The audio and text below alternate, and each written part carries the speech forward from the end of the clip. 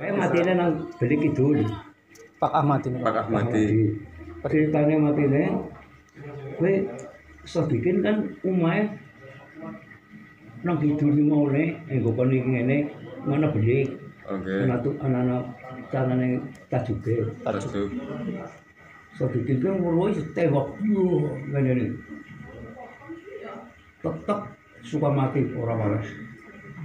Orang Oh di niku. jalur mati baik tadi nang mati nang bumang bodoh. Hmm. Iku sotik ini.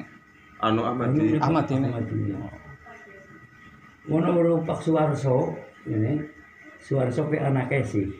Oh Suarso. Nggih niku sing taksi sugeng nggih niku nggih. nang isi nggih. Kayak anake, anake muloro tok kini kini orang orang malah orang apa jarang wong orang belum sampai mati Hmm.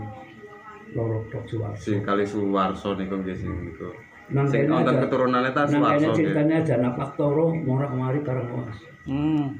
Pak Toro ke familine bapake Ento Sugianto kayak ngene Bu Wartini Nggih. kayak rumah gedung nih kan mereka bisa bahasa Inggris bisa lagi Hmm. gue sih ngademi oh Penengahnya.